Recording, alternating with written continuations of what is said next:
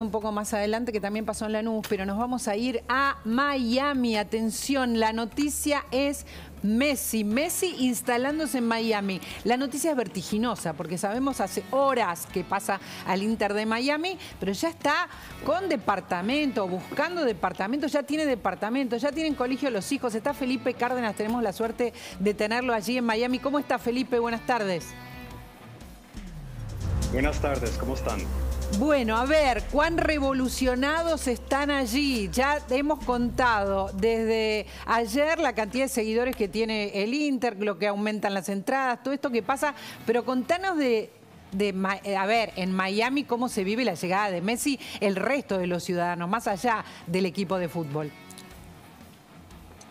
Pues yo creo que va a ser una cosa, la, reacción va a ser muy importante acá en esta ciudad. Yo acabo de llegar, yo estoy basado en Atlanta y llegué esta mañana y, se nota, se nota la gente que está animada, eh, esperando la llegada de Leo Messi y, se sabe que aquí en Miami hay una comunidad fuerte de argentinos, de suramericanos sí. y todos aman a Leo Messi. Así que yo, yo me imagino que aunque él no ha llegado, ya la gente se está preparando, preparando. Yo no sé si, si usted vio los amistosos durante septiembre de la selección argentina que jugaron acá en Miami. Sí, claro. Y parecía, eh, eso pareciera la, Monumental en, Buenos Aires. Era una cosa increíble.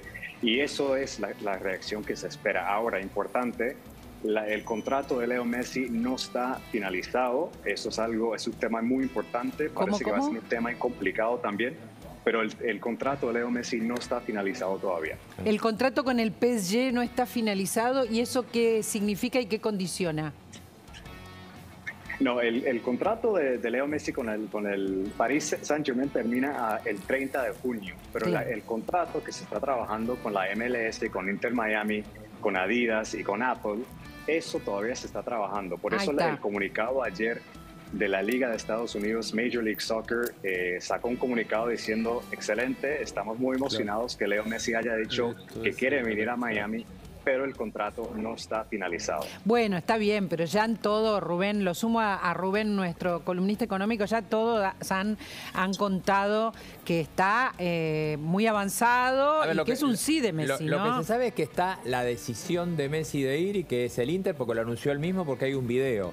Lo que sí hay, que quizás Felipe tenga información con esto, es no que no está terminado, es la modalidad, porque incluso se llegó a hablar, por lo menos aquí circuló en Buenos Aires ayer, de un canje de acciones del club que quizás Messi sería incluso, pasaría a ser socio en parte del club. Es decir, esta modalidad de cómo es el contrato y cómo es la asociación de Messi con el Inter es lo que está en negociación. Bueno, pero no importa. ¿Vos decís, Felipe, que, ¿vos decís, Felipe que, se puede frustrar o no es un hecho?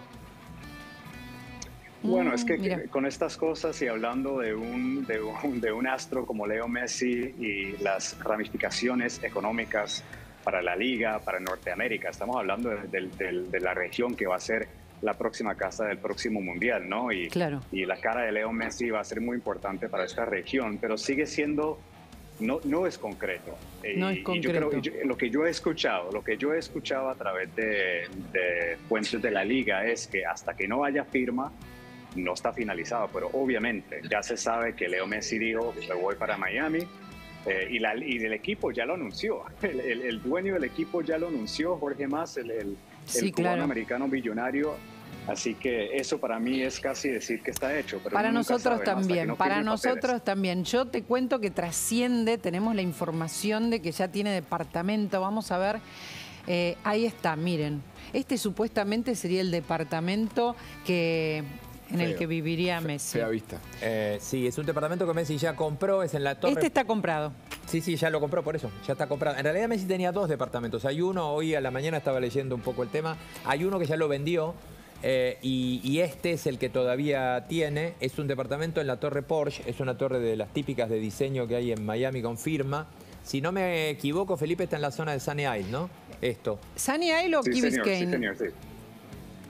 Sunny Isles, que vendió, el apartamento que vendió, lo vendió por 5 millones de dólares. Ah, mira, mira. Eh, em, Felipe, también tenemos un, colegio en el que se estarían anotando a los hijos de Messi. Ahí está, estamos viendo algunas imágenes. Pues, pues vi la nota, vi la nota. Es un, es un colegio privado de, de, alta categoría. eh, según entiendo, ahí están los hijos de Shakira y Piqué también. Y, es como, o sea, la, la, matrícula es como pagar una universidad privada en Estados Unidos, o sea, es, es completamente exclusivo.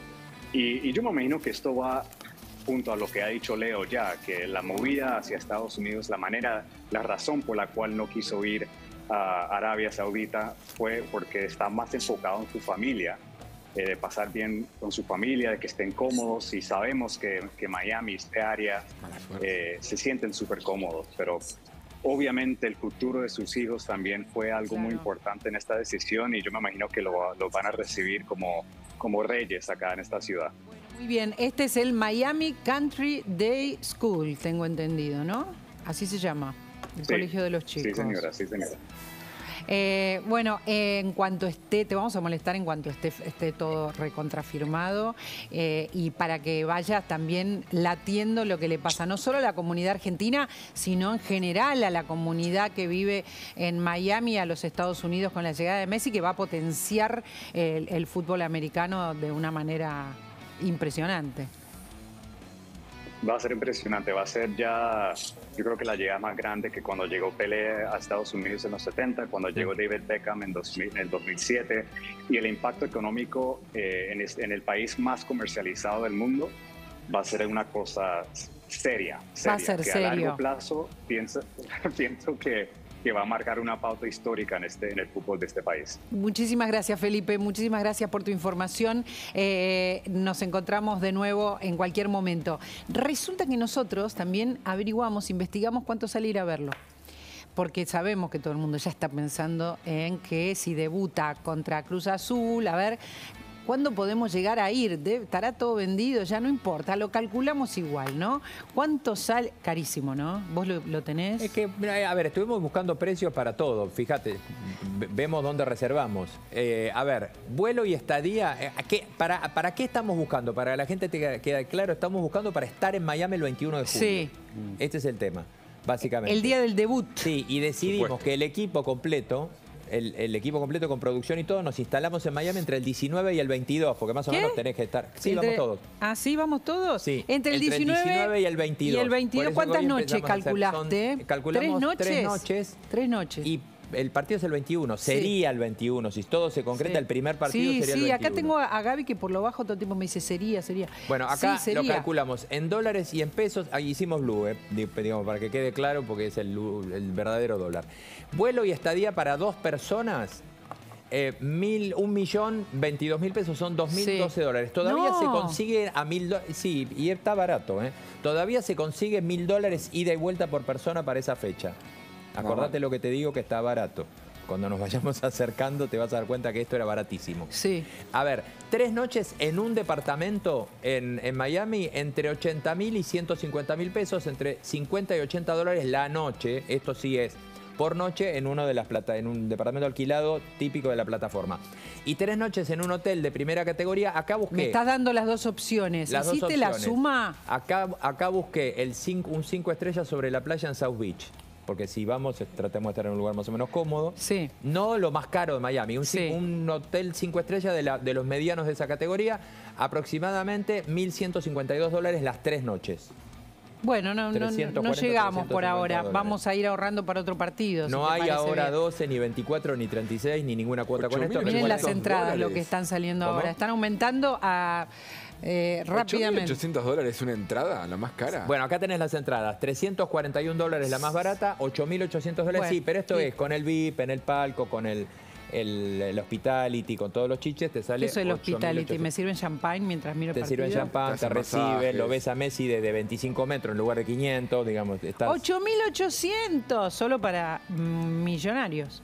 Eh, bueno, y se va a agotar. Y Rabanal. Se, va a agotar, Vamos a, vas a, te, dejo esa tarea, vamos a ir averiguando cómo, cómo verlo y lo que consigamos más barato dentro de lo que... Pensé que iba. Vamos, vamos. vamos. Eh, a ver, presten atención porque no sé si ustedes lo vieron, pero es, es muy llamativo. Una señora fue a dar su examen de manejo en Lanús para la licencia de conducir y tuvo algunos accidentes. Sucedió en Lanús, justo está con nosotros Diego Kravitz.